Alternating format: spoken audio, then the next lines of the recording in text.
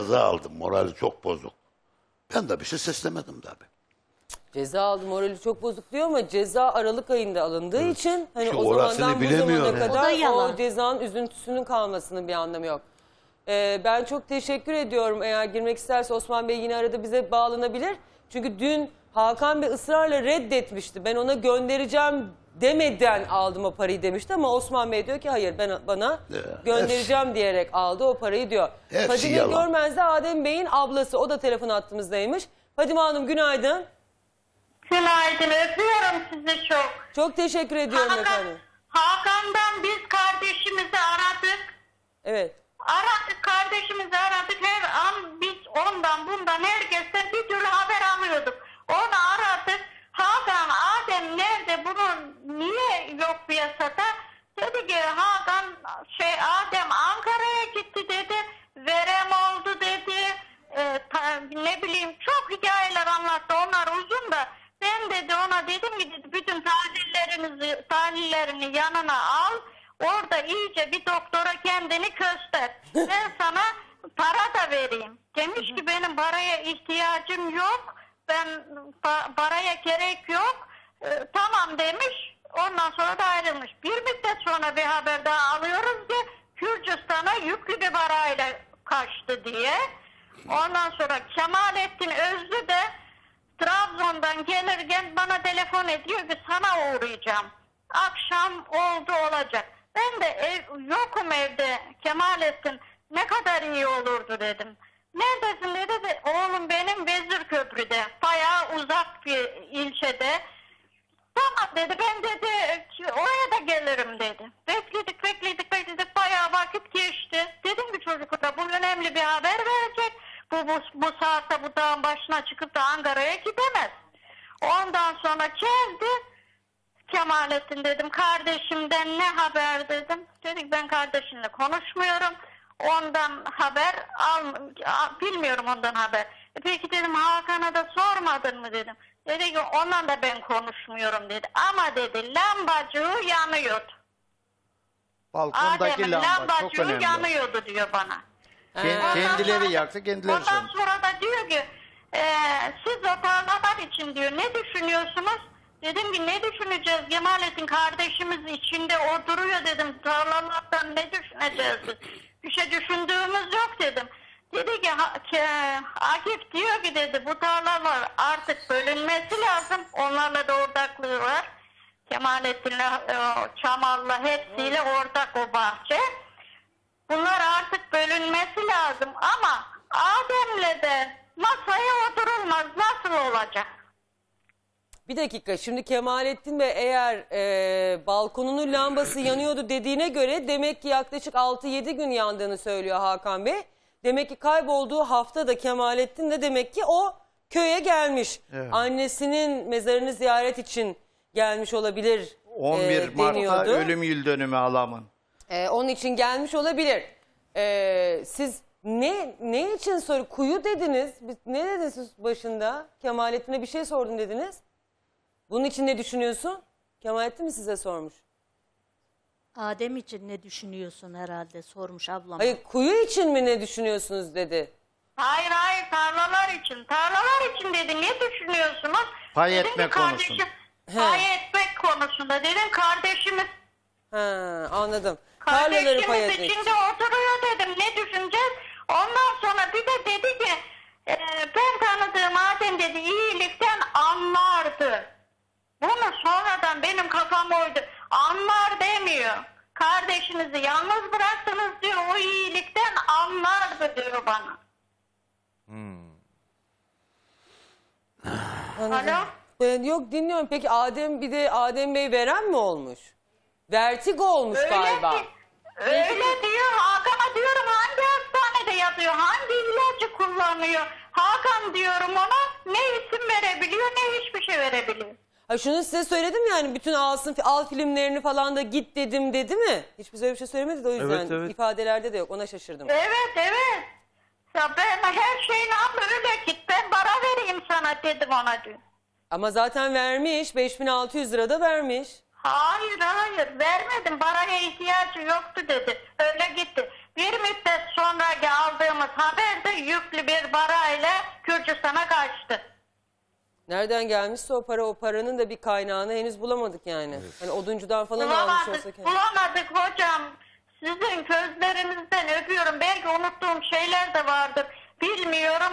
Çok kötüyüm. O benim sade kardeşim değil. Bir de çocuğumdu. Sırtımda büyüttüm ben onu. Ben onu sırtımda Allah büyüttüm. yardımcınız olsun. Hiç kolay değil gerçekten yani. Yani. Hiç kolay değil. orası. Hakan Bey bize kızıyor kesin. ama bu kadar söylemden sonra bu kadar e, çelişkili e, söylemlerden sonra kendi söyledikleriyle diğer kişilerin söylemleri arasında çok ciddi farklılıklar var. Yani e, doğal olarak da bizim kafamızda bir yıl soru işareti oluşması o kadar e, olağan bir durum ki yani bize kızmaya hiç hakkı yok. Bunları açıklaması gerekiyor. Sonra yani bu cenazeyi bulan e, Cemal Bey'e geçmeden önce eşinin anlattıklarını söyleyeyim. Şimdi diyeceksiniz ki bu kadar artık 3 ay geçmiş hala bu depo yani suyun kapağı açılmamış. Ee, bir akşam e, Adem Kara bulunmadan bir gün önce akşam üzeri su deposundan gelen borunun ucundaki musluk kapalı olmasına rağmen musluktan yerdeki betona yağ gibi bir şeyler sızmıştı. Bunun üzerine musluğun aktığı yerde aynı gres yağı gibi yağ bulaşığı olmuştu. Eşim Cemal Kara işten gelince eşimi gösterdim. Baksana bu ne dedim. O da hemen su deposunun yanına giderek bu suyu kullanmayalım diye deponun bizim eve gelen vanasını kapattı. Ertesi gün sabah su deposunun yanına gidip deponun kapağını açmış, içinde bir şeyler olduğunu görmüş. Erkenden jandarmaya gitmiş, jandarmalara söylemiş. Ben bunu daha önce söyledim. Sabah e, jandarmalar evimizin olduğu yere geldi. E, eşim de ben görmeden önce birkaç jandarma ile beraber su deposunun yanına çıkmış.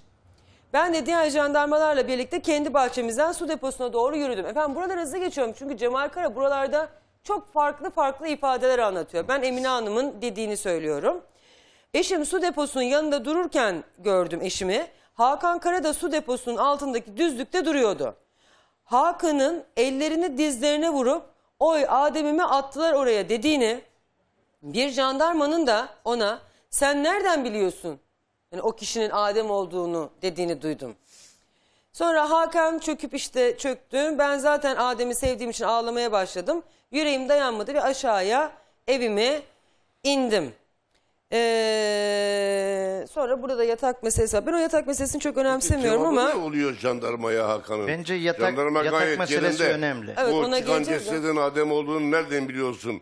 Da ağlamaya başlıyorsun dediği zaman acaba nasıl bir cevap veriyor Hakan?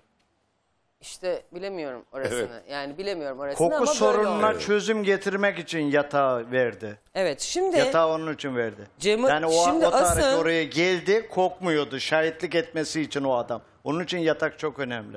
Şimdi asıl burada Cemal Bey'in anlattıkları var. Abi yatakta araştırma yapılmış. Üzerinden bir şey çıkmamış. O yüzden girmiyorum.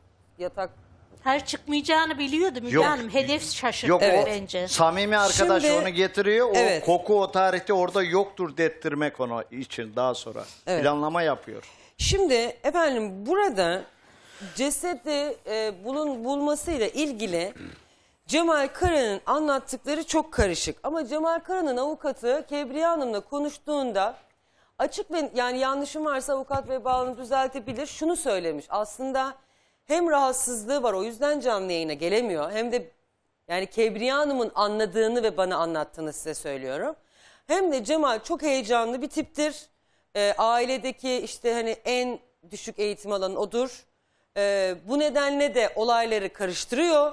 Karıştırdığı için de insanlar onun çok fazla üzerine gidebilir. Değil mi? Kebriyeciğim yanlışım varsa düzelt. Yani tam Çok yakın sözleriyle bir sen zamana anlat. kadar yıllardır şoförlük yaptı. Servis şoförüydü. Yeni Müge Ocak'ta Hanım. doldu şey. Ocakta Karayollarında bıraktı. çalışıyor. Çok yakın bir zamanda. O, o beyan doğru değil. Yalan. Eğitimi neymiş? İlkokul. Evet Uz- dinliyoruz uzun seni. yıllar otobüs şoförlüğü yaptı. Evet.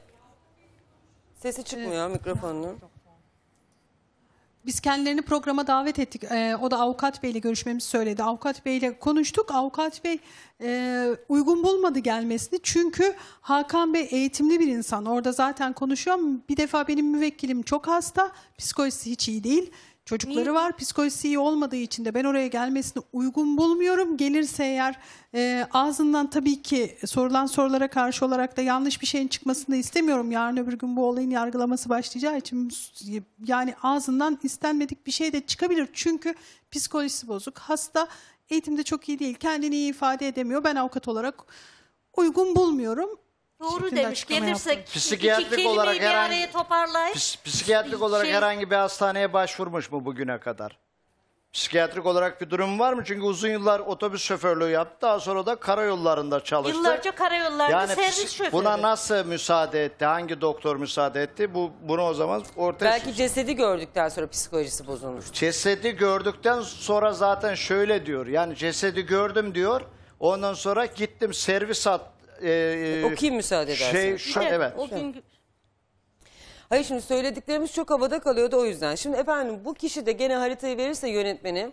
Bu kişi de işte cenazeyi bulan ve aynı bahçenin içinde evi olan e, Adem'in tıpkı Hakan'la aynı Konumda şekilde olan öbür kişi. amca e, çocuğu. öteki amcaoğlu yani Cemal Bey'in evi. Şimdi Cemal Bey'in tabii ben avukatının e, çelişkili ifadeler verebileceği konusundaki endişesini anlıyorum. Çünkü jandarmada ve savcılıkta da çok çelişkili ifadeler vermiş. doğruyu söylemediği Ee, için şaşırıyor. Şimdi bu konuda da Sayın Avukat Bey e, teşekkür ediyorum. Bana da not göndermişsiniz.